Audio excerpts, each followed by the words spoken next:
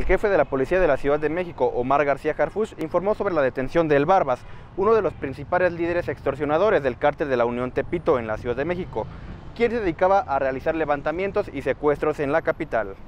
El funcionario detalló que la detención se da por parte del operativo Rino, el cual inició en mayo pasado y que hasta el momento concentra 377 detenciones. La detención se dio en la colonia Maza, en la alcaldía Cuauhtémoc, donde se identificó al movimiento del presunto integrante de la organización criminal después de años de búsqueda por parte de la Secretaría de Seguridad Ciudadana. Informó para el Capitalino Marco Nájera.